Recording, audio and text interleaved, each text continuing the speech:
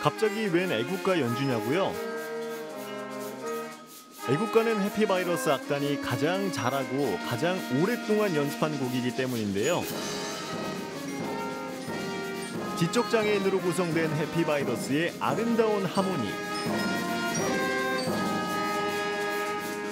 행복하게 행복하게 행복을 바이러스로 전염시키자 이런 이런 뜻이 이런 뜻일 것 같아요. 행복을 노래하는 해피바이러스의 연주 함께 들어볼까요? 다시 세상에 화천의 한 라이브 카페. 아름다운 가사와 편안한 멜로디. 조용히 듣다 보면 마음의 위안이 느껴지는데요. 부부 가수 해와 달이 노래하는 라이브 카페입니다.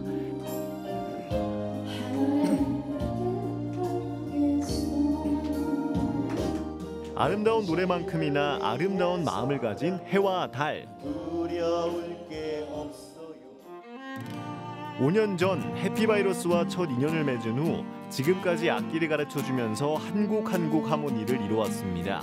하지만 오늘 배운 걸 내일이면 잊어버리는 지적 장애인들이라 연주를 완성하는 게 쉽지만은 않았습니다. 가장 행복했습니다. 우리 그 친구들하고 같이 할 때가 가장 행- 행복하고 정말 힘이 없고 이래도 그 친구들하고 예를 들어서 조금 나아지면 그냥 제가 몸이 엄청 가벼워지더라고요. 시간 나는 틈틈이 해피바이러스 악단을 위해 편곡 작업을 하는 홍기성 씨. 지적 장애인들이 연주하기 쉽도록 악보를 다시 그려줍니다. 이게 내가 편곡을 그냥 쉽게 쉽게 했는데 우- 우리 햇빛바라서 불- 연주하기는 힘들어. 그래서 악보를 좀 쉽게 만들었는데 바바바바바바바 이런 이런 건 이런 것들만 해서 빰빰빰빰빰 이런 식으로 내가 마, 내가 그 음악에 지장이 없- 없는 선에서 바꾸는 거죠. 바로 이곳이 해피바이러스 단원들이 일하는 장애인 보호 작업장입니다. 직업 능력이 낮은 중증 장애인이지만 업무 능력에 맞게 할 수 있는 일들이 나눠져 있는데요. 오랫동안 해온 쇼핑백 접기, 장갑 만들기는 그 누구보다 잘할 수 있습니다.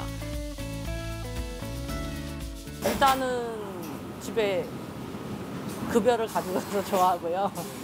두 번째는 이제 나도 일을 할 수 있다. 이런 자신감도 있고 일을 함으로 인해서 친구들하고 또 어울릴 수 있고 또 뭐 그런 기회를 가지고 뭐 음, 그게 최고 힘인 것 같아요. 바쁜 업무 중에도 가장 기다리는 시간은 밴드 연습 시간. 매주 수요일과 목요일은 홍기성 씨와 함께하는 해피바이러스의 연습하는 날입니다. 자 연습하기 전에 항상 하는 거 현욱이 도레미파솔라시도 오늘 또 짚고 넘어가야지. 늘 처음인 듯 기본부터 시작합니다. 솔. 솔 저좀 당기고 조금만 오케이. 아 조금 더 당기고. 그래. 솔. 라.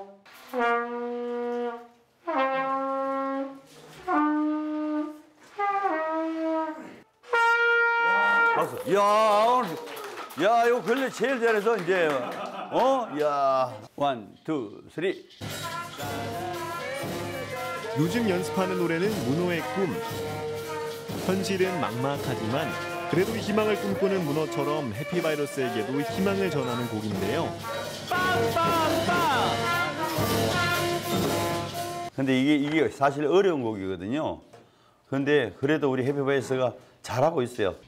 하나 둘 셋 넷 둘 둘 셋 넷 셋 둘 셋 넷 바바바바 그렇지 그렇지 오케이 오케이 악보를 볼 줄도 모르고 악기를 연주할 줄도 모르는 단원들에게 일일이 연주하는 방법을 알려주는 홍기성 씨.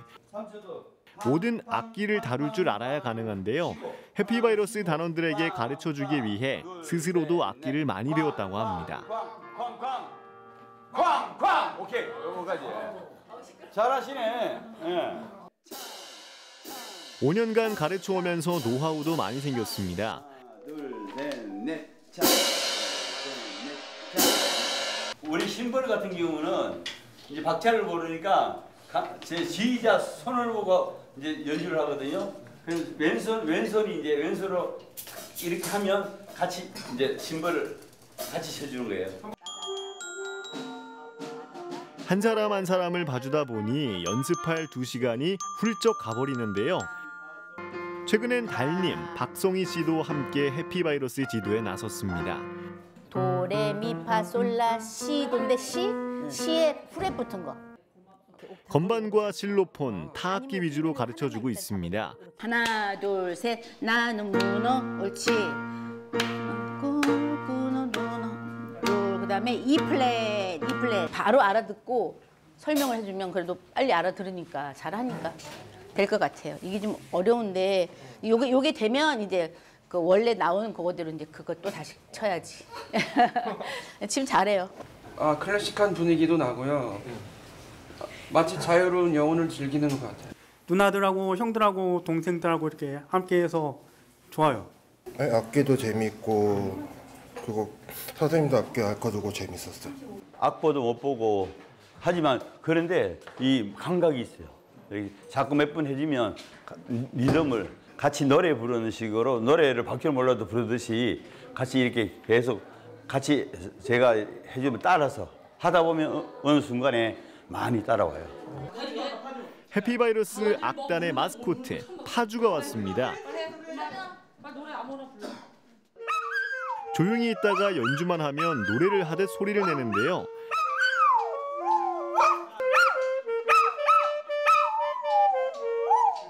파비야 노래 잘한다. 저 강아지는 언제부터 저렇게 노래했어요? 어 밴, 밴드 할 때부터 가끔씩 했어요. 이 이런 악기에 관악기에 반응을 해가지고 노래를 갑자기 하기 시작하는 거예요. 그래가지고 어 이상하다 재밌다 그러는데 할 때마다 노래를 하는데 희한하게 뭐 피아노나 뭐 이렇게 드럼이나 이런 데는 반응을 안 하고 꼭 관악기에만 반응을 하고 있어요. 일단 파주가 들어왔으니까 우리 파주 하면 노래하는 거 한번 어, 듣기 위해서 남행 열차를 먼저 한곡 하고 이제 연주가 시작되자마자 노래를 부르는 파주. 파주의 노래 덕분에 해피바이러스 악단의 분위기도 더 밝아집니다.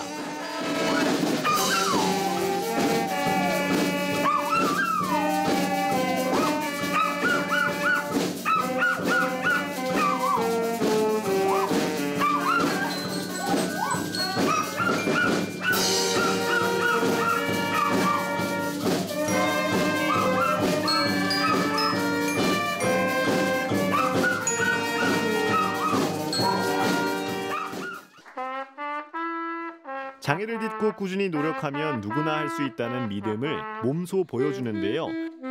옆에서 든든하게 지원해주는 선생님들도 해피바이러스의 단원.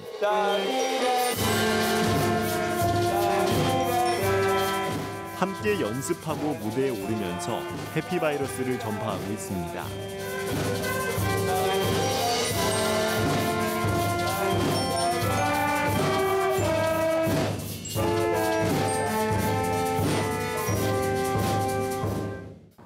하는 시간을 우리 친구들이 기다리고 있고요. 그 다음에 이게 뭐 스트레스 해소도 되지만 내가 내 악기를 하나 연주할 수 있다는 자부심도 생기고 자신감도 생기고 그 다음에 또 합주를 하면서 동료들 간의 협동심도 생기고 앞으로 계획 어, 일도 열심히 하고 음악도 음악도 열심히 할 거예요. 피아노도 열심히 배, 배우고 싶고요. 아 목표도 목표도 함께 이루고 싶습니다.